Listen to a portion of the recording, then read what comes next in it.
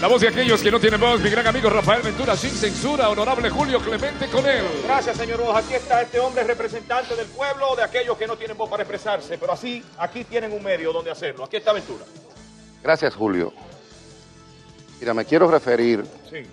a la circular que enviara la directora del Servicio de la Región Norte de Salud a los directores y a los empleados, donde los obligaba a que fueran a los actos conmemorativos del 30 de marzo, que el presidente va a asistir ahora en Santiago.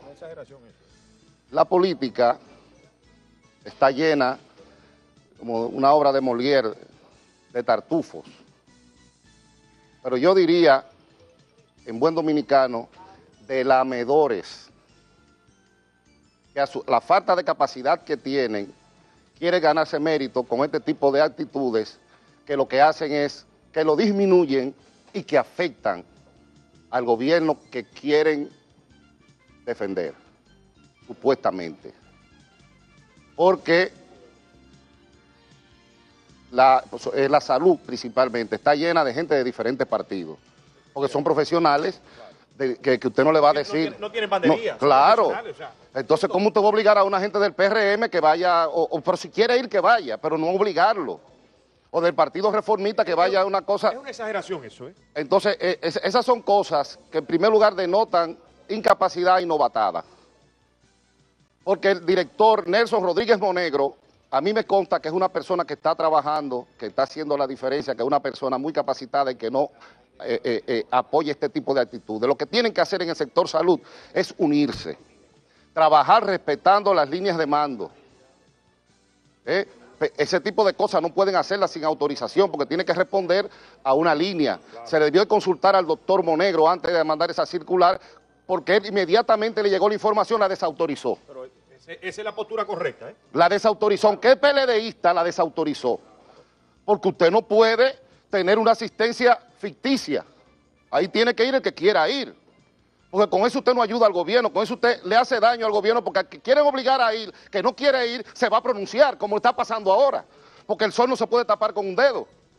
Entonces, eh, eh, entonces lo que tienen es que eh, llevarse de los lineamientos, trabajar unidos, como por ejemplo en el Servicio Metropolitano de Salud, que ahí no hay ningún problema, porque se trabaja en conjunto con el doctor Monegro. Ahí todas las decisiones que Milna Fonfría toma, pide la autorización de vida y se respetan la- la- la- la- las líneas de mando Sí. y sobre todo que se, que se trabaja 24/7 y se tiene un, un- un- un proyecto, se tiene Un plan de trabajo para ejecutar. para. Entonces, así se, de- de- se debe de trabajar en el sector salud sin improvisaciones y sin lamo- lamenerías. ¿A qué? Lamenerías. ¿Qué es menería? Lamer. La- la mer. ¿Qué es lo que es, lo que es el lamer? Un grupo de áulicos. Grupo de lambiscones. Serviles. O de corte adulatoria. Claro, corte adulatoria. Y también como una obra de, Moni- de Molière, tartufos. Tartufos. Siga tartufiando, vamos a seguir, vamos a seguir. Mire. cultura con sabrosura. Eh, quiero referirme al incidente que ocurriera en Santiago. A ver, Miren, ¿cuál de ellos? Sabe que Santiago eh, eh, tiene una policía municipal que creen que son la Policía Nacional. Ah, no, esos muchachos están excediendo, es verdad. Se están excediendo. En el Como agarraron al que estaba- En el ejercicio de sus funciones están Sí, excediendo. sí, entiende. Se están excediendo. Pero ellos fueron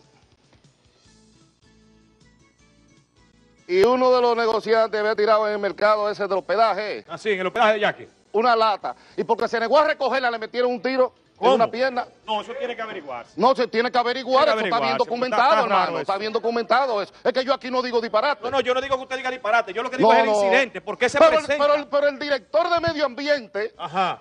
de medio ambiente, usted se ríe, ¿por qué? el director de medio ambiente, No, no, noticia muerte risa. El ministro. de, de medio ambiente del ayuntamiento de Santiago, Ok.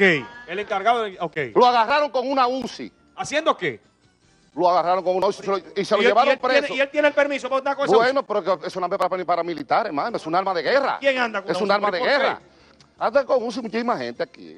Ajá, ¿quién-. Muchísima gente, pero no quiero entrar en, en ese tipo de detalles bien, está bien. porque me descontextualiza, me descontextualiza el, el- el siga, comentario. siga. ¿No quién es amigo? No, no, no, no, Préndelo, pero tampoco préndelo, así. préndelo. Güey, está apagado el micrófono, Aridio, está apagado. encendí. Ok, bien. Siga, Aventura, no se deje provocar. Dice él que es amigo de Abel, pero si es amigo de Abel, no puede andar con una UCI porque le hace daño a ¿Quién Abel. es Abel? Abel Martínez. Santiago, el- el- el- Abel Martínez, eh, eh, el hermano de Caín, no es Abel. No, no, Ah, bueno. El honorable El alcalde de Santiago. Ey, ey. El honorable alcalde de Caín Santiago. era el de, un blog, algunos dicen. Caín era el de Santo Domingo Norte y Ay, Abel ya, está en Ay, Santiago. no lo, ay, déjelo tranquilo. Pero tan mal lo está haciendo Abel, porque él hizo buen trabajo en la Cámara de Diputados. Pero óyeme, esta persona que agarraron con la. UCI ha tenido problemas con periodistas. Es una persona que tiene una actitud Conflictivo. supuestamente violenta. Ah, tú ves. Óyeme, y el juez no tomó en cuenta eso y le puso cuatro mil pesos. No relaje. Por eso es que la delincuencia está como está, porque los primeros delincuentes que hay en este país son los jueces.